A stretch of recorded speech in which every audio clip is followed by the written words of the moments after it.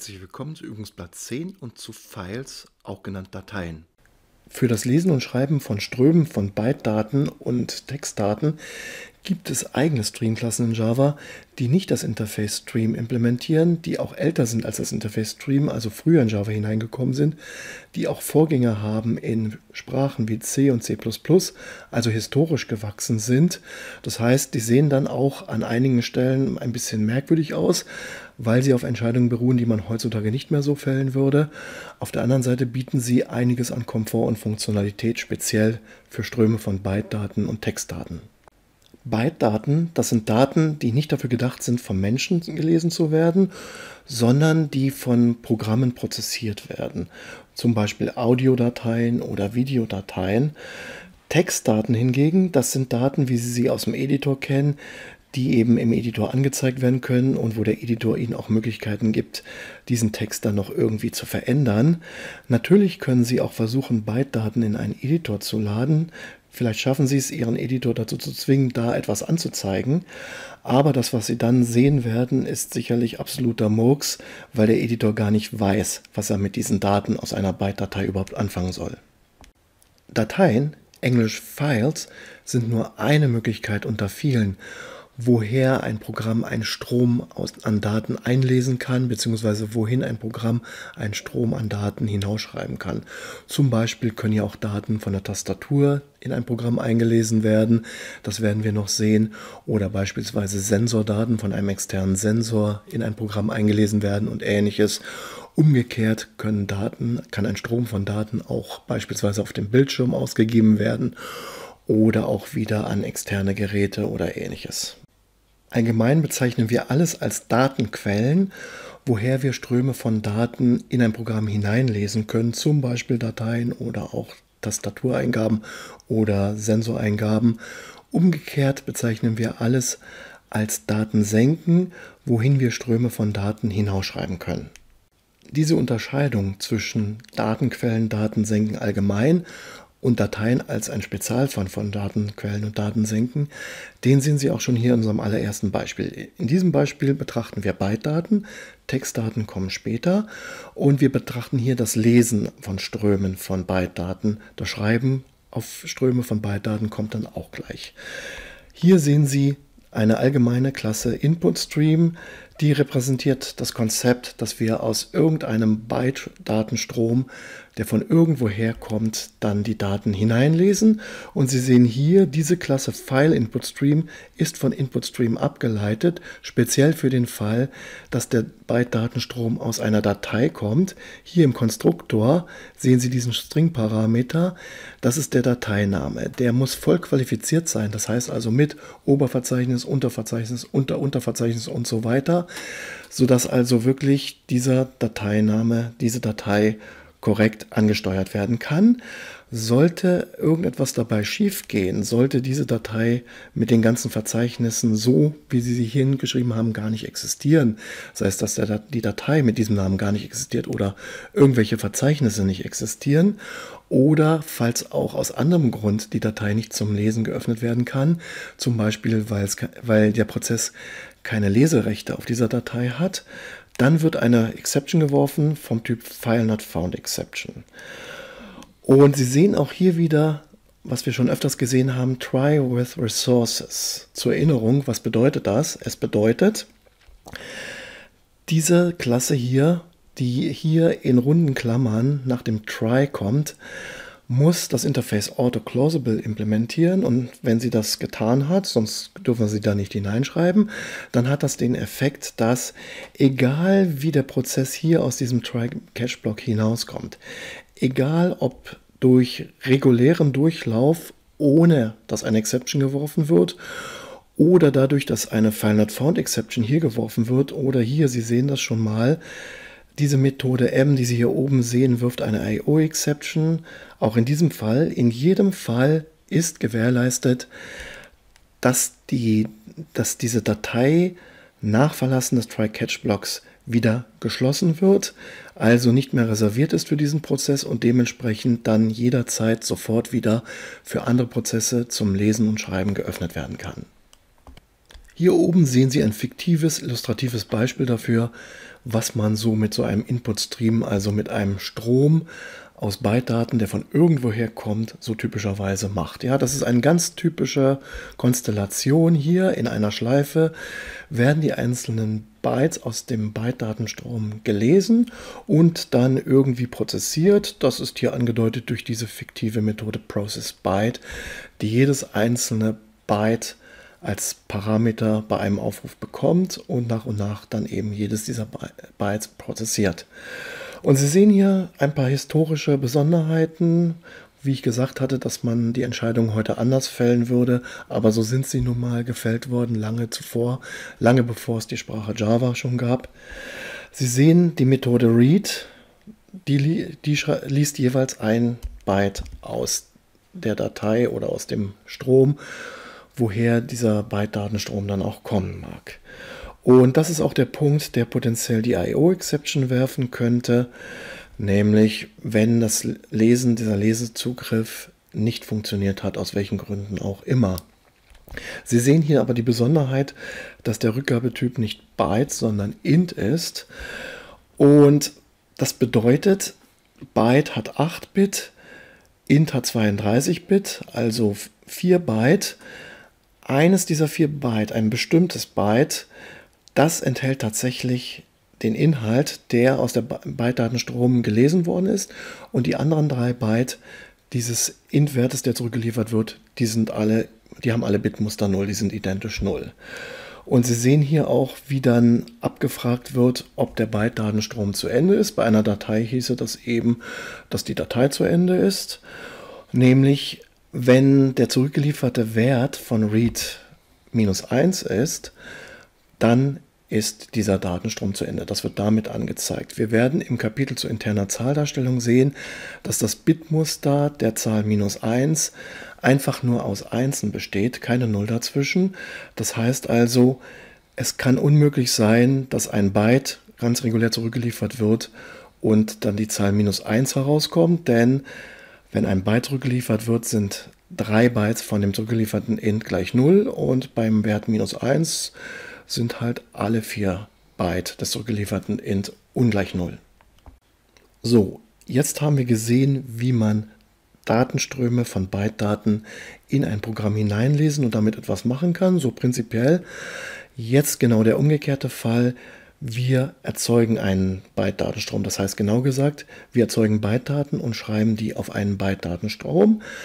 Im Beispiel eben war die Datenquelle eine Datei und genauso nehmen wir hier in diesem Beispiel wieder als Datensenke eine Datei, sodass also ganz logisch ist, dass das Ganze ziemlich ähnlich aussieht wie auf der vorangegangenen Folie, nur dass wir keine Klasse File Input Stream haben, sondern eine Klasse File Output Stream haben. Auch da müssen wir wieder als String-Parameter den Namen der Datei angeben und müssen auf dasselbe achten wie beim Einlesen der Datei müssen auch mit den ähm, Exception-Klassen klarkommen. Und hier oben sehen Sie jetzt im Gegenzug, im Gegenteil zum, zu eben, wie man sich das vorstellen kann, wenn Bytes in einen Byte-Datenstrom hineingeschrieben werden. Auch hier sehen Sie wieder den Unterschied File-Output-Stream, Output-Stream. So wie File-Input-Stream abgeleitet war von Input-Stream, so ist File-Output-Stream abgeleitet von Output-Stream. Output-Stream Dahinter können sich dann Daten senken, verbergen, also ganz konkrete abgeleitete Streamklassen, Output-Stream-Klassen verbergen für verschiedene Arten von Datensenken. Und Sie sehen hier ein einfaches Beispiel. Mit Methode write können die einzelnen Bytes rausgeschrieben werden. Der Parameter von write ist wieder vom Typ int. Es wird aber tatsächlich nur ein Byte auf dem Byte-Datenstrom hinausgeschrieben, nämlich dasselbe Byte, das Sie beim Lesen bekommen haben. Und dieses Byte ist genau das, wo Sie die äh, Werte ungleich 0 haben, wenn Sie, äh, so wie hier, die, die Werte von 0 bis 127, also die nicht negativen Werte, der, des äh, primitiven Datentyps Byte dann eben darstellen. Das wird nochmal alles im Kapitel zu internen Zahlendarstellung später klarer werden. Hier belassen wir es bei dieser einfachen Erklärung. Jetzt noch eine kleine Variation dieses kleinen Beispiels zum Hinausschreiben von Bytedaten auf Datensenken.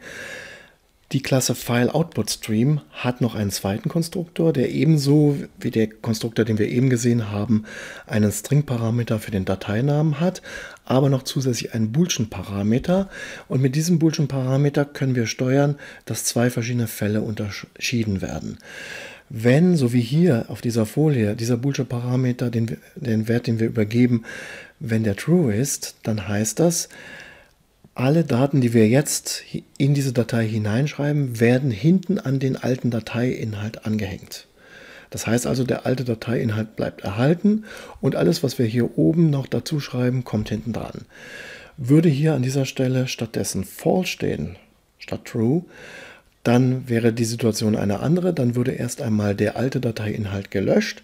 Es würde praktisch bei Null anfangen und nur das, was wir jetzt in dieser Zeit, in dieser Methode M, solange die Datei zum Schreiben geöffnet ist, was wir da hineinschreiben, also das, was die Methode M hier oben reinschreibt, nur das ist dann danach der Inhalt dieser Datei.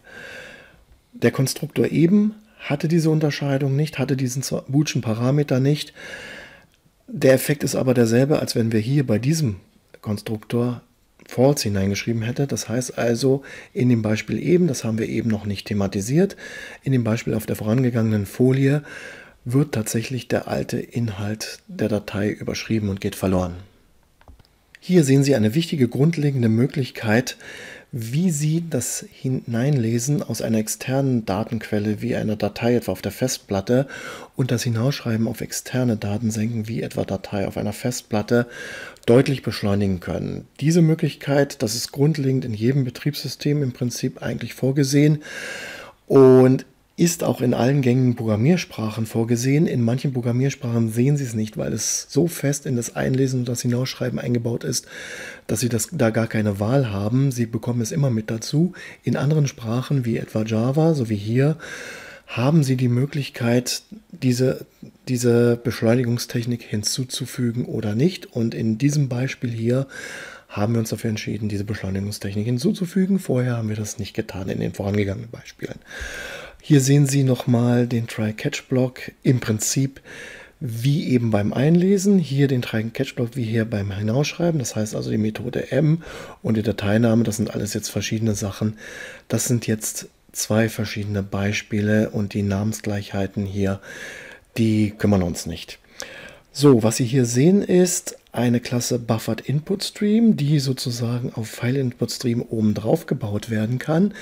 Buffered Input Stream ist von Input Stream abgeleitet, kann also wieder hier als dynamischer Typ stehen für den formalen Parametertyp Input Stream der Methode M hier. Hier die Methode M zum Hinausschreiben ist alles dasselbe. Buffered Output Stream ist von Output Stream abgeleitet, wird auch sozusagen wieder Huckepack oben drauf gepackt auf File Output Stream. Das ist eine in diesem Bereich eine sehr gängige Sache, dass wir verschiedene einzelne Funktionalitäten so durch aufeinander draufpacken, miteinander kombinieren können und zwar indem wir einfach immer ist vorgesehen, eben das eine als Konstruktorparameter des anderen jeweils da hineinzugeben. So, was machen Buffered Input Stream, Buffered Output Stream? Ja, das deutsche Wort Puffer es geht darum, die Daten bei Einge beim Einlesen, beispielsweise Dateien von der Festplatte einzulesen, Byte für Byte, oder Bytes, einzelne Bytes hinauszuschreiben auf die Festplatte oder andere Datenquellen, Daten senken.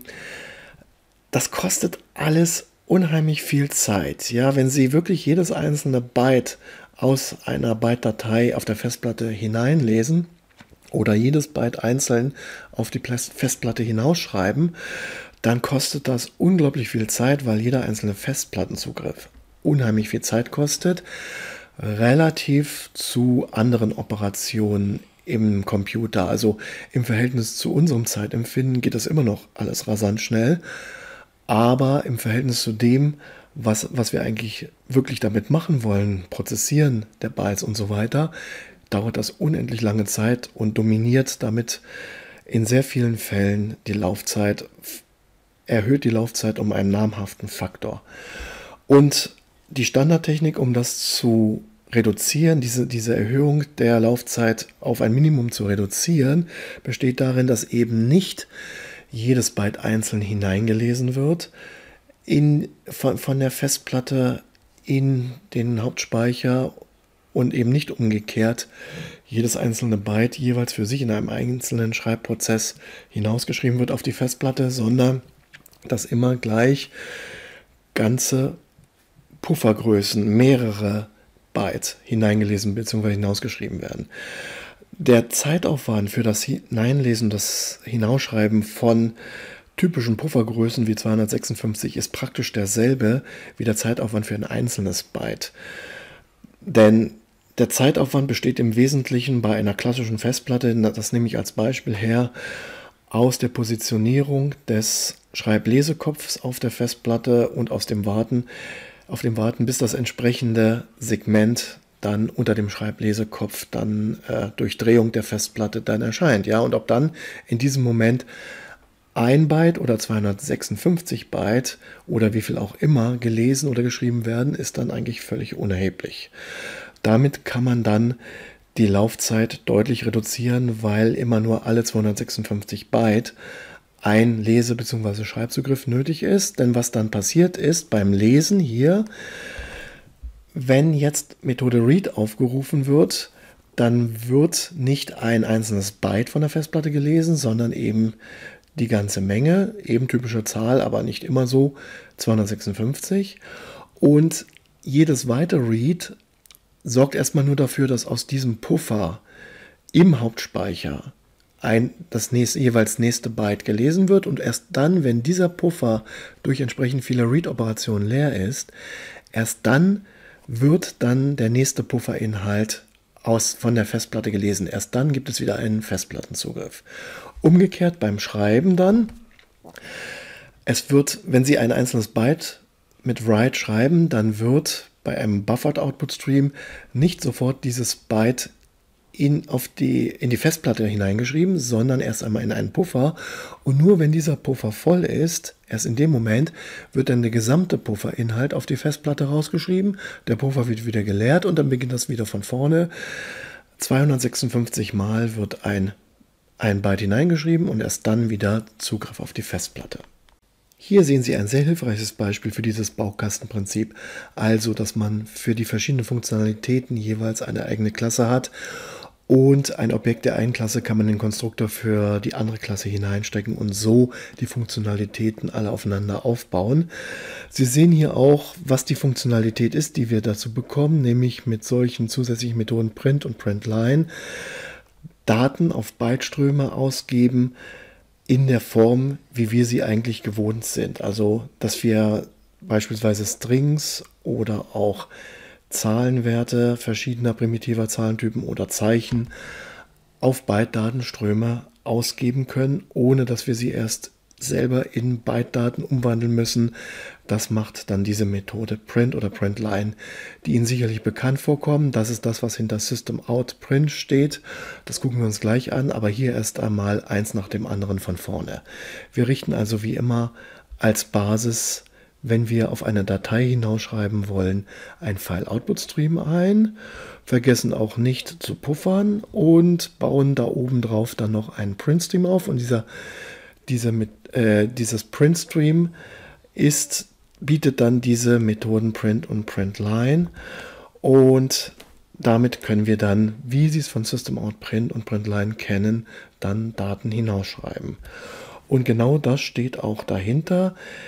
Die Klasse System hat eine Klassenvariable out, eben vom Typ PrintStream mit Methoden wie Print und PrintLine überladen für verschiedene Datentypen, hat zusätzlich auch noch eine weitere Klassenvariable R, wie Error, Fehler, ebenfalls zum Hinausschreiben und dann noch eine Klassenvariable in vom Typ InputStream.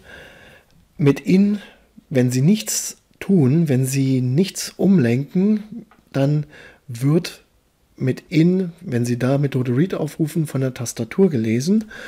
Mit Out und R wird auf dem Bildschirm geschrieben. Wir werden gleich sehen, wie das mit dem Umlenken aussieht. Aber hier zunächst mal festzustellen, System Out Print, System R Print machen zunächst mal dasselbe, nämlich auf dem Bildschirm an dieselbe Stelle, auf dieselbe Art und Weise hinauszuschreiben. System In, wenn Sie da Read aufrufen, dann wartet Ihr Prozess darauf, dass Tastatureingaben passieren, die dann mit Return abgeschlossen werden. Hier sehen Sie dieses Umlenken dieser drei Byte-Datenströme. Zum Beispiel bei, mit Methode Setin, mit dieser Klassenmethode von Klasse System, können Sie die Eingabe von der Tastatur weglenken in irgendeine beliebige Datei. Das heißt also, die Eingabe wird jetzt nicht mehr von der Tastatur gelesen, sondern aus dieser Datei heraus. Natürlich können Sie mit einem entsprechenden Input-Stream auch von jeder beliebigen anderen Datenquelle aus anstelle von der Tastatur dann die Eingaben lesen. Und mit Set-Out und Set-R können Sie entsprechend neue Print-Streams äh, dann hineinbringen in die Klasse System sodass also nicht mehr auf den Bildschirm geschrieben wird, wenn auf System Out oder auf System R jetzt irgendwas geschrieben wird, sondern so wie hier in diesem Beispiel etwa, äh, wenn Sie System Out schreiben, wird auf diese Datei hier geschrieben und wenn Sie auf System R schreiben, wird auf diese Datei geschrieben. Da sehen Sie jetzt, wo, warum es sinnvoll ist, dass wir das in zwei Teile zerlegen. Wir haben Standard Output und Standard Error. Standardfehler also.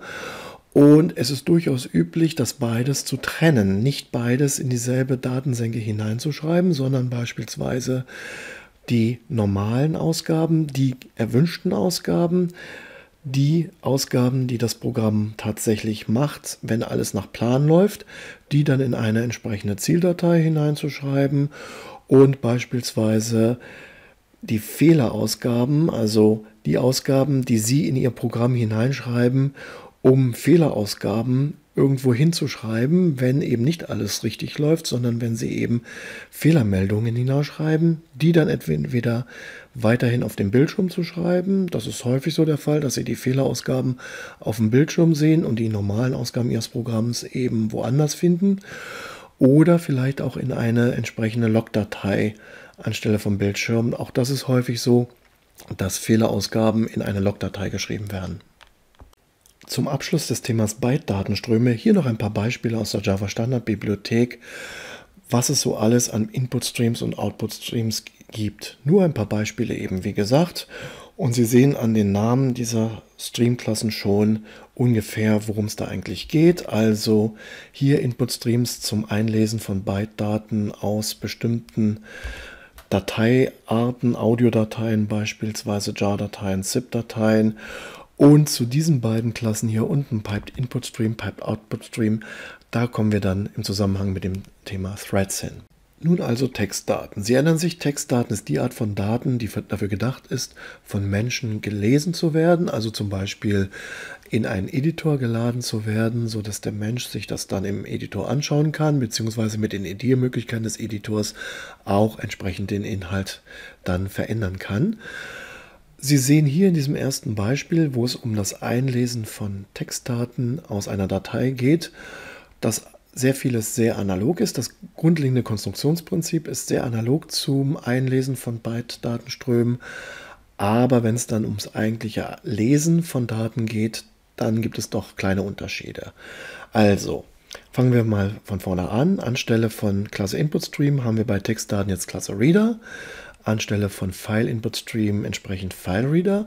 Anstelle von Buffered Input Stream ähm, Buffered Reader, aber das ist alles völlig analog.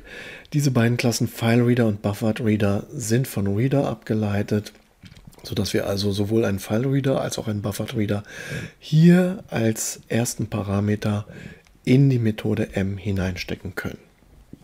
So, jetzt geht es hier also in der Methode m ans Lesen aus dieser Textdatenquelle. Und Sie sehen den Unterschied. Wir packen ein, als Parameter ein Array von char hinein und die Logik ist die, wenn noch so viele einzelne Zeichen noch nicht gelesen sind, wie das Array lang ist, dann wird das Array voll und ganz aufgefüllt. Ja, äh, nach aufsteigenden Indizes. Das erste gelesene Zeichen an Index 0, das zweite gelesene Zeichen an Index 1 und so weiter und so fort.